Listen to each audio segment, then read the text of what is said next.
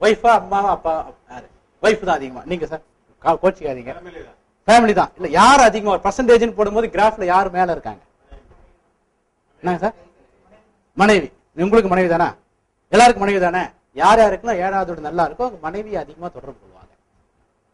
யாருக்கு ஏழாவது வீடு சரியில்லையோ அவங்க மனைவி அதிகமா தொடர்பு கொள்ள மாட்டாங்க. அதனாலதான் ஏழாவது வீட்டை நம்ம மனைவின்னு சொன்னோம். நம்மோடு தொடர்பு கொள்ளக்கூடிய ஏழாவது வீடு யார் யாருக்கெல்லாம் எட்டு பன்னெண்டுன்னு தொடர்பு கொள்றதோ இவங்க யா- இவங்க கிட்ட யார் யாரெல்லாம் தொடர்பு கொள்றாங்களோ அவங்க ரீதியா அவங்களுக்கு நிறைய பிரச்சனைகள் வலிகள் வேதனைகள் அவமானங்கள் நிறைய வரும். ஏழாவது வீடு யார் யாருக்கெல்லாம் ரெண்டு ஆறு தொடர்பு கொள்றதோ இவங்க கிட்ட யார் யாரெல்லாம் தொடர்பு கொள்றாங்களோ அவங்க கிட்ட அவங்களுக்கு வலி வேதனை வரும். அதனால என்ன ஆகும்னா ஒன்ஸ் தொடர்பு கொண்டவங்க திருப்பி வரமாட்டாங்க. இவர்கிட்ட போனா எல்லாத்தையும் அவுத்துறாரு அப்படின்னு. ஓகேங்களா? அப்போ ரெண்டு ஆறுன்னு வரும்போது என்னன்னா நம்மோடு தொடர்பு கொள்ள கொள்ளக்கூடிய நபர்கிட்ட இருந்து எல்லாத்தையும் நம்ம பிடிங்கிறதுக்குரிய யார் ஜாதகரோ அவர் மொத்தத்தையும் வாங்கிடுறாரு. மற்றவர் மீது ஆதிக்கம் செலுத்துறாரு. ஒன்ஸ் ஏமாந்து போனதால என்ன ஆகும்னா திருப்பி வரமாட்டாங்க தொடர்பு கொள்ள மாட்டாங்க. ஓகேங்களா? ஏழாவது வீடு நாலு பத்தும் தொடர்பு கொள்றவங்க நம்மோடு தொடர்பு கொள்ளும் போது கமர்ஷியல் விஷயத்துக்காக மட்டும் தொடர்பு கொள்வாங்க. பொருளாதார சம்பந்தமான விஷயத்துக்கு மட்டும் தொடர்பு கொள்வாங்க. ஒரு பொருளை கொடுக்கல் ஒரு பொருளை வாங்க. அதுல வந்து உணர்வுகள் இருக்காது. ஒரு பொருளை போயிட்டு ஒரு ஹோட்டல்ல சாப்பிட்றீங்க. என்ன டீலிங்? அவர் சாப்பாட்டுக்கான பணத்தை கொடுத்துட்டு வந்துடும் இதே ஹோட்டல் உள்ள போன உடனே அது ஹோட்டல் ஓனர் சார் வணக்கம் அப்படின்னா என்ன அர்த்தம்? அவர் சாப்பாட்டையும் கொடுத்துட்டு தன்னுடைய உணர்ச்சியும் தெரிவிக்கிறார். அது என்ன பாவம்னா ஏழாவது வீடு மூணு ஏழு பதினொன்னு. ஜாதகருடைய தொடர்பு கொள்ளக்கூடிய நபர்கள் எல்லாரும் கமர்ஷியல் ரீதியாகவும் இருப்பாங்க. உணர்வுகள் சார்ந்தும் இருப்பாங்க.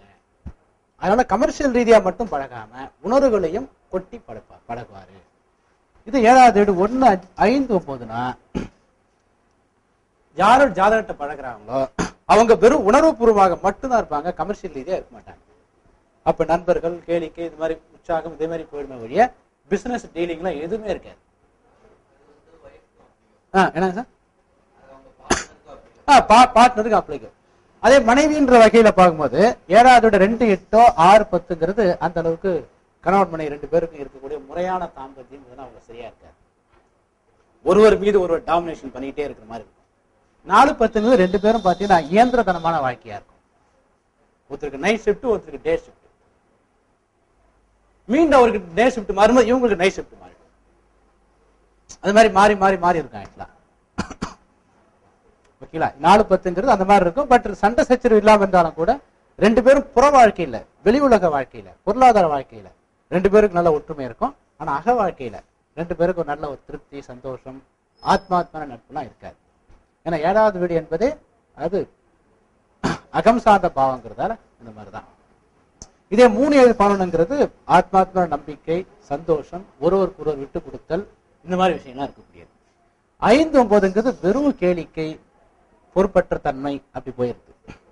சரிங்களா இது ஏழாவது வீட்டுக்கு மட்டும் இல்ல எல்லா வீட்டுக்கும் அதே மாதிரி தான் சார். Okay sir. அந்த வகையில் இங்க லக்ன பாவம் ரெண்டு நாலு எட்டு பத்துன்னும் போது முதல்ல மூணு ஒன்பது இந்த இந்த ரெண்டு எட்டு அதாவது ஒரு குறிப்பிட்ட பாவம் தன்னுடைய பாவத்தோட வேலையும் செய்யும். தான் எந்த வீட்டுக்கு பன்னெண்டாவது வீடா வருதோ அந்த வீட்டு பாவத்தை கெடுக்கிற வேலையும் செய்யும். உதா உதாரணமாக மூணாவது பாவங்கிறது இதனுடைய காரகம் என்ன சார் ஆக்சுவலா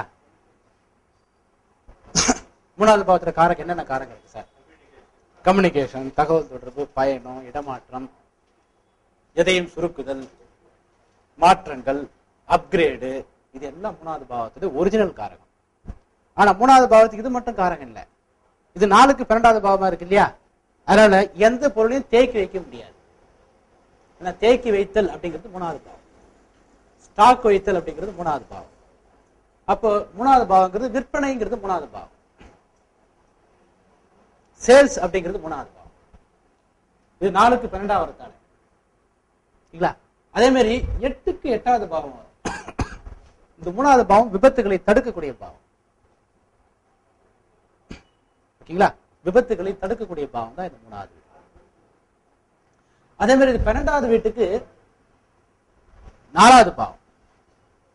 அதனால பன்னெண்டாவது வீடுங்கிறது தான் சோர்வு மயக்கம் தோல்வி அப்படிங்கிறத விட இது வந்து தோல்வியெல்லாம் தவிர்க்கக்கூடிய பாவம்.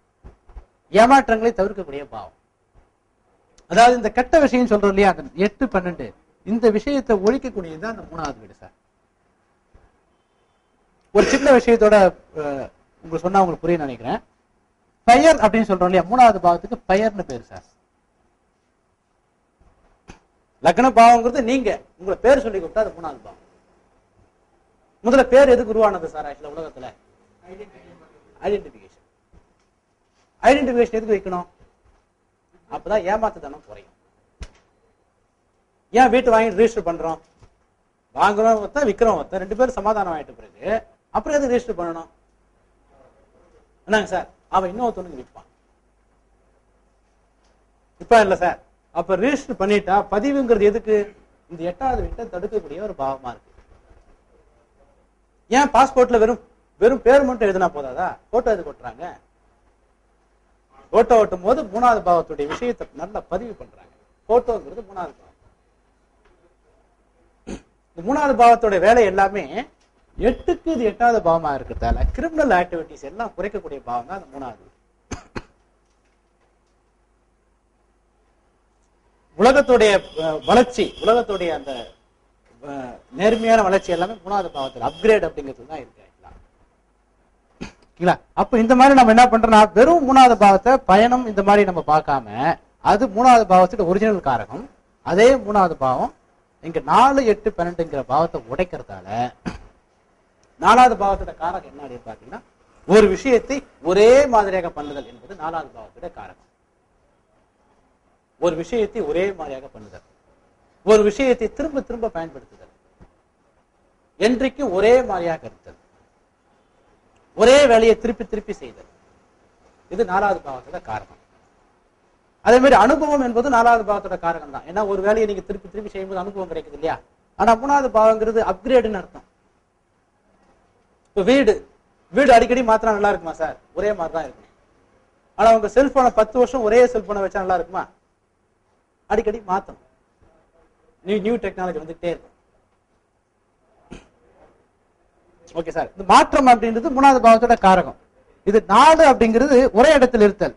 மூணு என்பது இடத்தை மாற்றிக் கொள்ளுதல் அது சூழ்நிலைக்கு தகுந்த மாதிரி நம்ம எடுத்துக்கணும். ஓகேங்களா? அந்த வகையில் நம்ம ரெண்டு நாள் எட்டு பண்ண எட்டு பன்னெண்டுங்கிறது ஹெல்த்துக்கு பிரச்சனை. ஒரே ஊர்ல இருப்பாரு. அதே மாதிரி சொத்து சேர்க்கத்துல நிறைய ஆர்வம் இருக்கும். ஆனா அனுபவிக்கிற எண்ணம் இருக்காது. அதே மாதிரி எல்லாருக்கிட்டையும் வாக்குவாதம் பண்ணக்கூடிய நபரா இருப்பார். ஏன்னா மூணு ஒன்பதுங்கிறது உடன்பாடுன்னும் போது ரெண்டு எட்டுங்கிறது வாக்குவாதம்.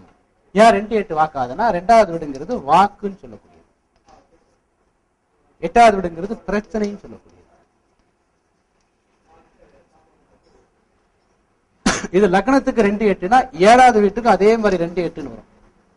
ஏழுல இருந்து பார்க்கும்போது இது எட்டா வரும் இது ரெண்டா வரும். அப்போ ஒரு வார்த்தையை நாம சொல்றது அதுக்கு பதிலா இன்னொரு வார்த்தையை அவன் சொல்றது அப்ப ஒருவருக்கு ஒருவர் வாக்குவாதம் ஏற்படுதல். அப்படின்னு சொல்லலாம். உடன்பாடுகள் முறிந்து போதல் அப்படின்னு சொல்லலாம். அப்ப யாருக்கிட்டையும் உடன்பாடு உடன்பாடு இருக்காது. யாருக்கிட்டையும் ஒத்து போகக்கூடிய எண்ணம் இருக்காது.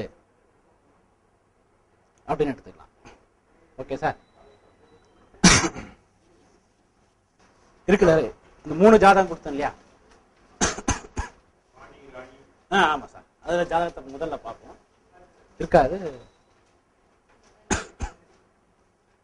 எக்ஸ்ட்ரா ஒரு காப்பி இருக்குமா? ரெண்டு பேரும் பாத்துக்கிறீங்களா